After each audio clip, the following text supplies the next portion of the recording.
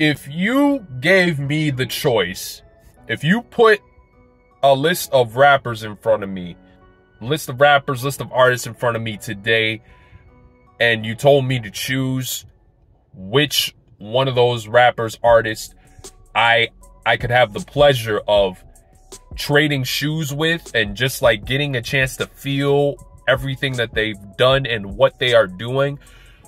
Russ is one of those top artists for me.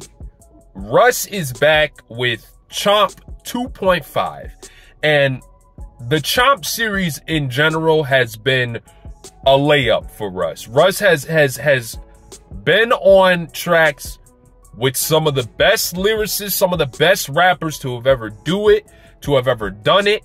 And once again, Russ proves himself superior in his own class. Russ will always get me to say, you know what? I need to get back in the booth. I need to get back in the booth. I need to get back on these freestyles. I need to get back. That's that type of energy that an artist with the magnitude of a Russ will do for you. When you think about what Russ has done up until this point in time to get to where he's gotten to, the blueprint has been different. He's been very, very present with telling and passing down the gems of his career up until this point, about to approach his first big test as an artist with his album coming out, Santiago, I believe is what it's called, coming out this summer. I, I cannot not respect this man. Like what he's done for hip hop and what he's done in his own right as an artist is is just incredible. And, and and if I had the privilege of feeling what that's like, he's made me believe that yo, it's worth it. It's worth it in the end, man. I don't care what anybody tells you out uh, uh you know, outside of what the industry artists are going through you know, because let's not get it twisted. Russ is in the industry, but Russ has played the game to his advantage and has done it to a point where he doesn't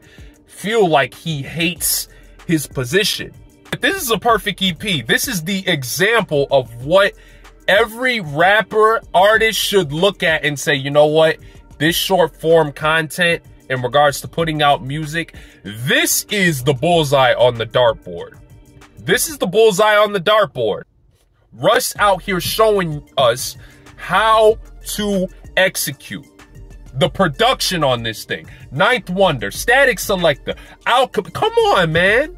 Come on. Legendary producers and uh and, and a very, very dominant rapper artist that is Russ. Bodies it again. Bodies it again. Lay up congrats to Russ. Looking forward to the new album. Stay tuned for the reaction tomorrow. Shout out to Russ.